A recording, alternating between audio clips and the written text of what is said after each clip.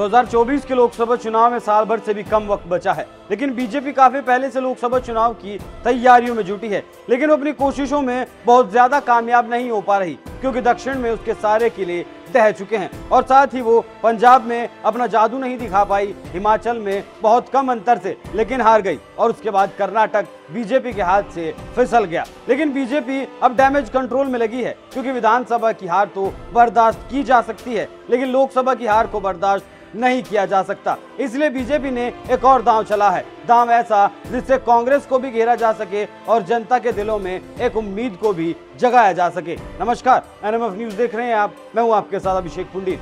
2024 के लोकसभा चुनाव नज़दीक हैं, इसलिए बीजेपी ज़्यादा एक्टिव है और उसने अपना अगला दांव भी चल दिया है, वो भी तमिलनाडु से। लगातार दक्षिण के दुर्ग के गिरने से आहत बीजेपी ने किसी तमिल के पीएम बनने की अब वकालत की है। सूत्रों के मुताबिक खबर ऐसी है कि चेन्नई में बीजेपी के पदाधिकारियों की एक बैठक हुई और वो बैठक भी हुई बंद कमरे में।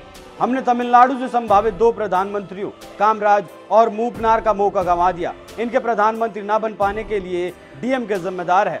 गृह मंत्री ने आगे विपक्ष को घेरते हुए भ्रष्टाचार के आरोप भी लगाए और क्या कहा अमित शाह ने वो भी सुनिए। दोनों 2G, 3G, 4G पार्टी है। मैं 2G के भ्रष्टाचार की बात नहीं कर रहा।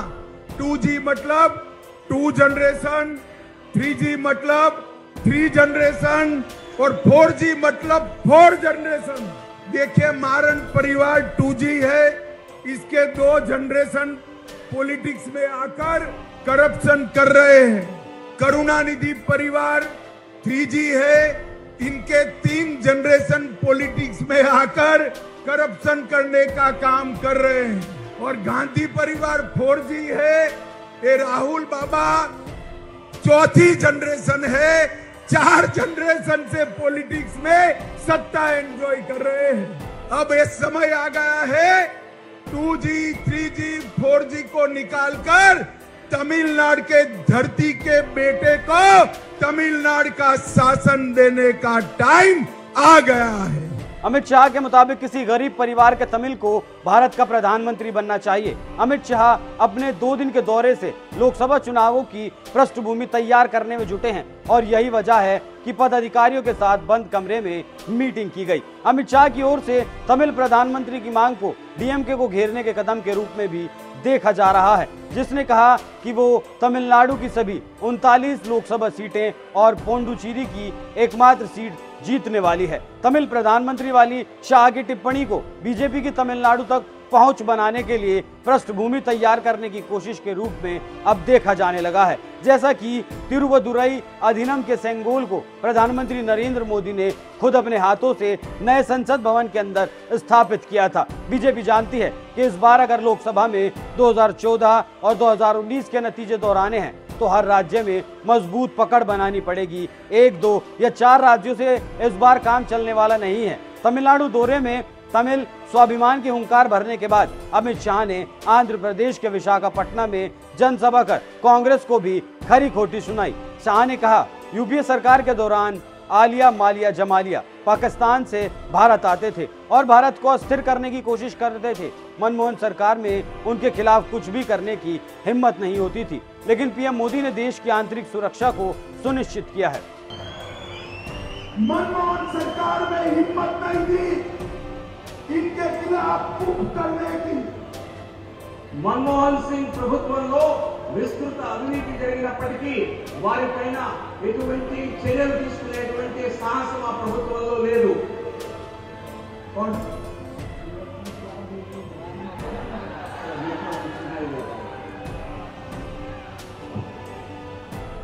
मित्रों नरेंद्र मोदी जी ने नौ साल चलाई सरकार नौ साल में देश की आंतरिक सुरक्षा को मोदी जी ने सुनिश्चित करने का काम किया विधानसभा चुनाव में लगातार मिल रही हार के बाद बीजेपी समझ चुकी है। कि इस बार का चुनाव इतना आसान नहीं होने वाला। इस बार के चुनाव में मेहनत ज़्यादा कर लगने वाली है और इसकी वजह है क्षेत्रीय नेता, जो शायद जनता के बीच संवाद बनाने में नाकामयाब रहे हैं। जनता के विश्वास पर खरा नहीं उतर पाए हैं, क्योंकि हर एक वोट सिर्फ़ मोदी के नाम पर या सिर्फ़ मोदी के चेहरे पर नहीं मिल सकता। पूरे संगठन को मेहनत करनी होती है। आपको ये जानकारी कैसी लगी, हमें कमेंट कर ज़रूर बताएँ और साथ ही सुनिए और क्या कहा अमित शाह ने।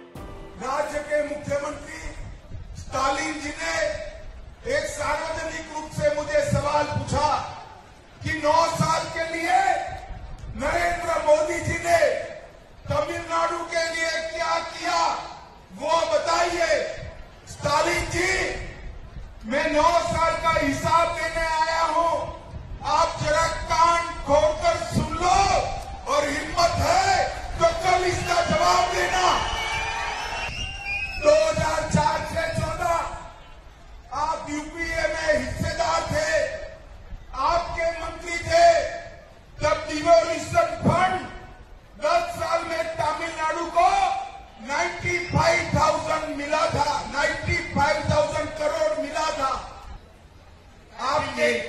58,000 आपके 10 साल में 58,000 नरेंद्र मोदी जी के 9 साल में 58,000 से बढ़ाकर 2 lakhs thirty one thousand four time ज्यादा देने का काम नरेंद्र मोदी सरकार ने किया है பத்தாண்டுகள்ல நீங்க கொடுக்கிற மானியம் கிராண்டிங் ஐம்பத்தி எட்டாயிரம் கோடி தான் கொடுத்தீங்க ஒன்பது ஆண்டுகள்ல மோடி அவர்கள்